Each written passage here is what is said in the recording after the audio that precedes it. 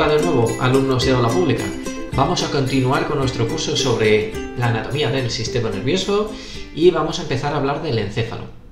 Como hay bastante de qué hablar, vamos a dividir esto en este vídeo y en otro posterior, así que nada, no me enrollo más y vamos a empezar con ello. Bueno, pues una vez más vamos a empezar a ver eh, de qué va esto del cerebro.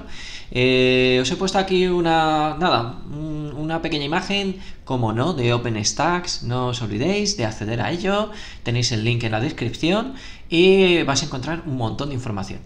Así que nada, vamos a aprovechar esta bonita imagen de OpenStax para eh, recordar un poquito lo que son las partes de nuestro querido cerebro. Recordad, ¿vale? Esto es una sección transversal eh, bueno, longitudinal realmente. Eh, lo que veríamos es, eh, nada, la piel por encima, luego los huesos del cráneo, que sería, los teníamos aquí, ¿vale? bueno, tejido conjuntivo este entre medias también, y luego las meninges, las tres meninges, ¿de acuerdo? Y después ya lo que es el encéfalo, ¿de acuerdo? Entonces el foramen magnus que vemos aquí, que es el, el, digamos, el huequecito por el cual el cráneo se abre inferiormente y que deja pasar la médula espinal, ¿vale? Pues es el que nos determina que todo esto de aquí dentro, todo esto de aquí dentro es el telencéfalo, ¿vale? Recordad lo que habíamos visto, las partes, el telencéfalo o cerebro, el diencéfalo, que consta de tálamo, hipotálamo, hipófisis, ¿vale? Tálamo, hipotálamo, hipófisis, ¿de acuerdo? Y luego el tronco encefálico, que se compone del mesencéfalo, ¿vale? Que está aquí pequeñito, bueno, sería esto de aquí, ¿vale? El midbrain, que por aquí, el mesencéfalo o cerebro medio, ¿vale? El, puente o protuberancia de Barolio, ¿de acuerdo? Y luego el bulbo raquídeo, ¿vale? Y con eso ya tendríamos las partes del tronco cefálico. Luego, por último, el cerebelo, no menos importante, ¿de acuerdo? Eh, bueno, eh, se encarga de coordinar todas las acciones motoras, ¿vale? Y digamos que eh, hace intermediario para que tú puedas eh, coordinar de una manera eficaz los movimientos musculares. Bueno, pues todo esto es lo que tenemos aquí. Así que nada, vamos a empezar con nuestro cerebro, ¿de acuerdo? Entonces, si avancemos a la siguiente. Bueno, eh, dentro de lo que es el cerebro, ¿vale? Lo primero que decir que representa más o menos el 85% del encéfalo en los seres humanos, ¿vale? O sea que no está mal la cifra. Eh, eh, bueno, ¿qué más? Hemos dicho que ya son, que, bueno, que tiene dos hemisferios, ¿de acuerdo? Son mucho más, son, los hemisferios son mucho más grandes que las otras eh, regiones encefálicas, ¿de acuerdo? Y bueno, pues como es tan grande muchas veces, fijaros que, que, no se ve dentro el resto del encéfalo que hemos visto anteriormente, ¿vale?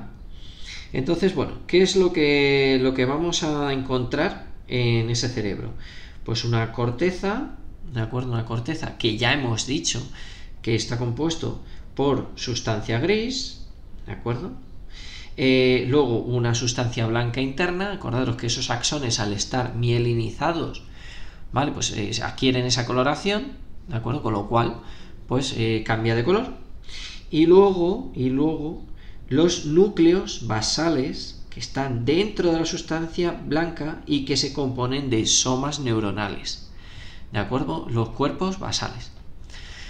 Bueno, aquí tenemos una comparativa, ¿de acuerdo?, entre distintos cerebros de distintas especies de mamíferos.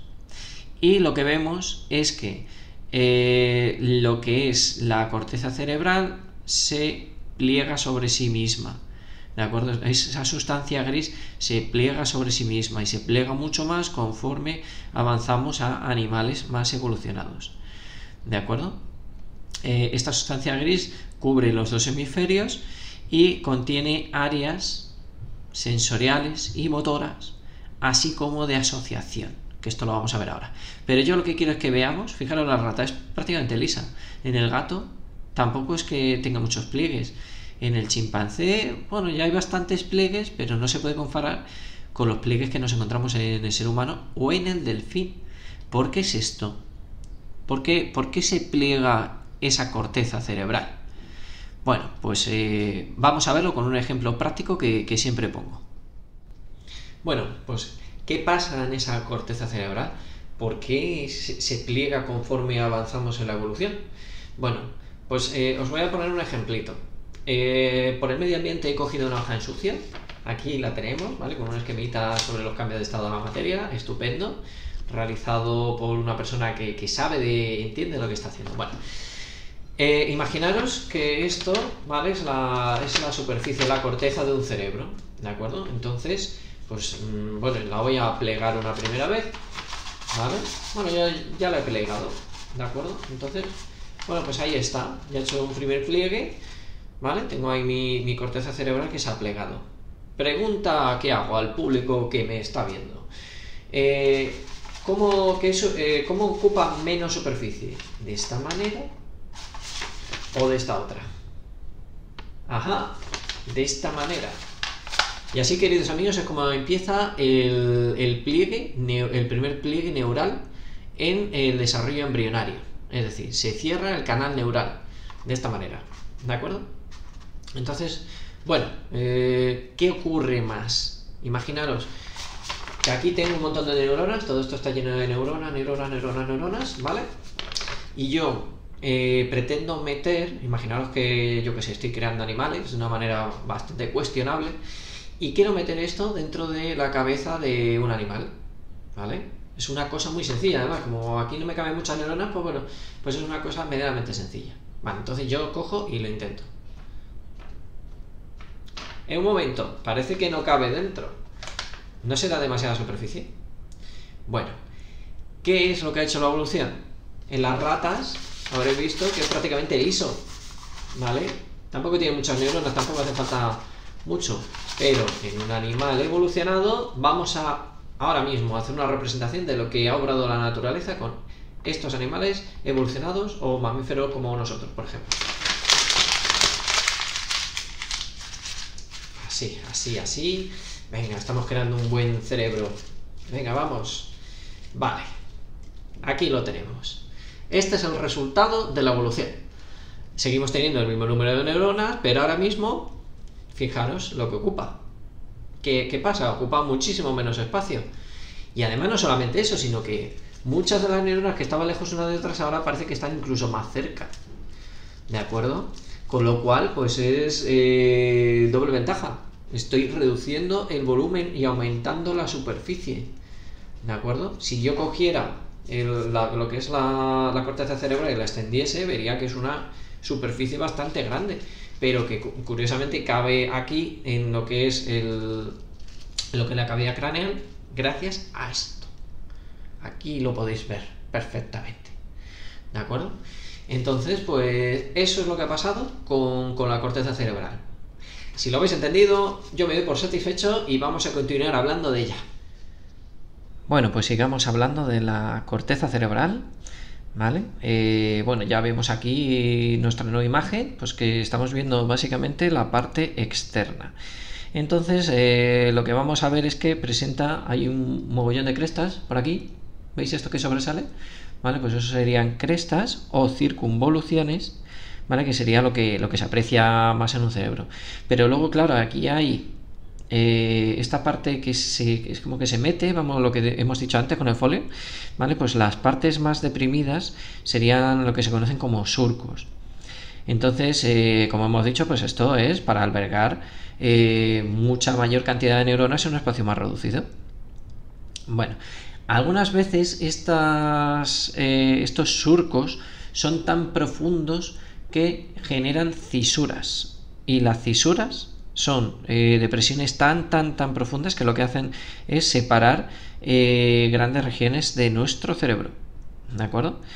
Entonces, bueno, pues por ejemplo aquí teníamos la cisura central, ¿vale? Teníamos por ahí también la cisura de Rolando, ¿vale? Por ejemplo, y unas cuantas más cisuras, ¿de acuerdo? Entonces, bueno, eh, vale, la superficie, en la superficie de la corteza, ¿de acuerdo? Es el centro que asume, digamos, las funciones más elevadas dentro de lo que es el sistema nervioso. Es decir, ah, lo que hace es, cuando le llega un estímulo de un receptor sensorial, eh, va a asociarlo y va a generar una respuesta. Luego asume las funciones de integración, o se dice que asume las funciones de integración. ¿De acuerdo? Entonces, eh, básicamente es eh, el centro donde, digamos, se asocian los estímulos sensitivos con la producción de estímulos motores. ¿De acuerdo? Bueno, pero no solamente eso, sino que es que además a la que está haciendo eso también almacena información. Con lo cual, pues almacena información, por ejemplo, eh, de conceptos abstractos como pueden ser las palabras, por ejemplo, almacena información visual, información olfativa. También eh, siempre se dice que es el centro de las funciones superiores, como las emociones, eh, la, conciencia, ¿vale? La lógica, ¿de acuerdo? Con lo cual eh, es lo que se conocería como inteligencia, como nosotros la conocemos como seres humanos, pues estaría producida aquí. Y no solamente eso, sino que es que además, es que además eh, se, digamos, se, distinguen áreas que se ocupan de funciones en concreto. Por ejemplo, aquí estamos viendo eh, una vista a, nivel del óvulo, ¿vale? Y estamos viendo pues que hay ciertas zonas, por ejemplo, esta de aquí, que sería una, área de interpretación general, ¿vale? Luego tendríamos aquí eh, una, un área que es eh, primaria motora, ¿vale? En esta parte de aquí. Esta parte de aquí es muy importante, ¿vale? Porque es el área de Broca, que es la que nos permite hablar y generar un discurso elaborado. Eh, por ejemplo, otra parte en el lóbulo occipital, en la parte terminal, pues tendríamos el área primaria visual, y luego entre medias, muy cercana, un área de asociación visual, ¿de acuerdo? Con lo cual, pues fijaros que las funciones son repartidas a lo largo de lo que es la corteza cerebral. ¿Vale? Entonces, con esto más o menos eh, tenemos más o menos claro que esas funciones son repartidas. Bueno, pues vamos a ver un poquito lo que son los homúnculos, los homúnculos sensoriales y el homúnculo motor. Bueno, esto que podemos ver aquí, esto tan raro, es lo que se conoce como el homúnculo sensorial. Pero ¿qué es todo esto de aquí que estamos viendo? Eh, lo primero decir que la corteza cerebral de la que estábamos hablando se puede distinguir o se puede clasificar en corteza motora primaria, corteza somatosensorial y hay otras partes que están, como hemos visto antes, vinculadas o relacionadas con el habla, la audición y la visión. ¿De acuerdo? Entonces, bueno, pues vamos a ver o vamos a hablar ahora de, un área en concreto que es el área somato, somatosensitiva primaria. Entonces, este área, como veis aquí, pues se va a encontrar en el lóbulo parietal después de la cisura de Rolando o surco central. ¿De acuerdo? Entonces vemos que eh, siguiendo este, este homúnculo, ¿vale? Esto es una representación en el espacio eh, de las regiones que, eh, de las regiones del cuerpo que están relacionadas con esta parte en concreto de la corteza cerebral. ¿Vale? Entonces lo que estamos viendo es que por ejemplo, aquí estarían representadas la mano, los dedos de la mano, aquí por ejemplo el pie, lo que es la, cadera, la, pierna, el tronco, el cuello, ¿vale? El gusto, por ejemplo, ¿vale? Entonces, bueno, ese, en ese área los impulsos que llegan desde los receptores sensitivos Aquellos que, han llegado a través de esos nervios sensitivos que, decía, que hablábamos en otros vídeos, eh, lo que hacen es coger esa información y es interpretada en esta región del cerebro. ¿De acuerdo? Entonces, bueno, eh, las regiones del organismo que presentan más receptores sensitivos, estos aquí, ¿vale? la, punta de, la lengua, por ejemplo, y la punta de los dedos, eh, lo que van a hacer es enviar directamente esos impulsos a este área sensitiva.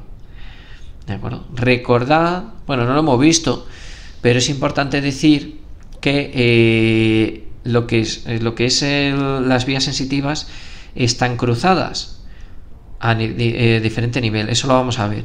Con lo cual, eh, yo lo, que recojo en la, en la, parte izquierda de mi cuerpo, pues se, reflejaría en este eh, lóbulo parietal, pero de mi lóbulo derecho. Y viceversa. ¿De acuerdo? Bueno. luego, no, no, lo tenemos aquí, ¿vale? Pero habría otro área motora primaria que es, el, es la que se encarga del movimiento consciente del aparato locomotor. ¿Vale? Estaría por delante de la cisura de Rolando, en lo que es el lóbulo frontal. ¿De acuerdo? Eh, pero claro, esta área es, es, un área importante, pero no olvidarse que tiene ayuda. ¿De qué tiene ayuda? Pues del cerebelo, que va a coordinar también esos movimientos, y también de receptores sensoriales, como eh, los eh, otolitos que se encuentran, esas células de, eh, que reciben el equilibrio que se encuentran dentro del oído interno. ¿De acuerdo? Entonces, para, para esto también, aparte de homúnculo sensitivo, pues habría un homúnculo motor, ¿de acuerdo? Que, que también se podría recoger y se podría representar de esta manera. Bueno, pues echando un vistazo a Pepe, como lo tenemos aquí preparado, Vale, pues vamos a seguir hablando de, lo que es el cerebro. Entonces ya hemos hablado de la corteza, hemos hablado de esa sustancia gris y ahora retomamos la sustancia blanca. Entonces, una de las, eh, de las formaciones más importantes que está compuesta por un mogollón de haces de fibras que lo que van a transmitir es el impulso nervioso hacia adentro y fuera de la corteza. Es súper importante porque son importantes para la transmisión del impulso nervioso, la transmisión de información, desde los centros que, realizan las funciones más superiores hacia los restantes. ¿De acuerdo? Entonces, eh, este es el cuerpo calloso que podéis ver aquí, ¿vale? Y que, bueno, que permite además, como hemos dicho anteriormente, la comunicación entre ambos hemisferios. Vamos a ponerlo aquí, esto de aquí. ¿Vale? Todo eso el cuerpo calloso. Vamos a quitarle aquí el frontal al amiguete para verlo un poco mejor. ¿Vale? Pues nada, el cuerpo calloso se comunica ambos hemisferios y además pues también forma parte de esa sustancia blanca. Luego por otro lado tenemos los núcleos basales que, que, bueno, que también están compuestos de sustancia gris, pero formarían pequeños núcleos o también conocidos como ganglios basales y que se encuentran más interiormente. Por ejemplo, tenemos este núcleo caudado y el putamen, ¿vale? tenemos aquí estos núcleos de aquí. ¿Vale? Entonces, estos núcleos eh, participan también en otras actividades, como la, regulación de la actividad motora voluntaria. ¿Vale? Por ejemplo, este de aquí, vale. Eh, y, y el procesamiento de la información sensorial, aparte de la motora. Con lo cual, pues es sustancia gris que no se encuentra precisamente en la superficie, pero que sí vamos a encontrar internamente. ¿vale? Y esto es lo que no vais a poder ver en la mayoría de los libros de anatomía, eh, ni de tercero de la ESO, ni muchas veces seguramente en los libros de anatomía de, de anatomía aplicada de primero bachillerato. Con lo cual, bueno, pues es importante verlo de esta manera para que seamos conscientes de que, de que bueno, de que aquí hay más, aquí hay más cosas, hay más chicha que tenemos que ir descubriendo. Así que bueno, sigamos. Eh, bueno, ¿qué más cosas hacen estos núcleos basales? Pues también ayudan eh, a otros procesos cognitivos como la memoria, ¿vale? Eh, también pueden actuar conjuntamente con el sistema límbico para regular las conductas emocionales. ¿Vale? Pues bueno, tenemos aquí, perdonad que no llego. Vale, vamos a enseñaros el sistema límbico nos vamos otra vez aquí para que lo veáis por separado. Y así. Aquí tenemos el sistema límbico. Bueno, y como podréis comprobar, pues nada. Se compone del giro singular. Tenemos aquí dos giros singulares y lo que habíamos señalado antes, que era la amígdala. ¿De acuerdo? Y está relacionado, pues, eh, básicamente también con, con todo esto de las emociones. ¿De acuerdo? Entonces, eh, por ejemplo, en este caso el sistema límbico, ¿vale? Se compone de todo esto y crean una clasificación funcional del encéfalo que maneja una serie de emociones y contribuye al procesamiento de la memoria y del olfato. Y del olfato. ¿Estará relacionado eh, el SARS-CoV-2 con la afección a esta parte en concreto del encéfalo? Bueno, quizá lo descubriremos en unos meses, pero de momento no lo sabemos. Así que bueno, vamos a, vamos a retornar, ¿de acuerdo? A, la parte de, del, vale, del sistema límbico, ¿de acuerdo? Y entonces, pues, eh, pues nada, poco más que decir de esto, simplemente que, que aquí, aquí, amigos míos, es donde reside lo que son las emociones, los impulsos y las conductas que son más básicas al ser humano. Es decir, cuando alguien se enfada, cuando alguien siente asco de algo, eh, por ejemplo, esta imagen, ¿vale? Cuando alguien tiene miedo de alguna cosa, ¿de acuerdo? Pues todo eso está, eh, está definido en esta estructura tan extraña y la verdad es que con un diseño tan chulo, ¿de acuerdo? Parece podría decir que parece un edificio de Calatrava de la ciudad de las artes y las ciencias. No dudéis en visitarla cuando se pueda, que es lo mejor que existe en el mundo. Bueno, y con esto ya hemos aprendido todas esas partes del cerebro que en principio parece tan complicado, pero en cuanto empiezas a desgranar las diferentes posibilidades, tampoco es tan complicado. Entre tú y yo, tampoco es tan complejo. Así que nada, nos vemos en, la siguiente clase y nada, mi sistema límbico me está eh, diciendo que me da pena despedirme, pero bueno, seguro que vosotros estáis encantados con que esto acabe. Así que nada, no os hago sufrir más y os veo en el siguiente vídeo. Muchas gracias por estar ahí, nos vemos.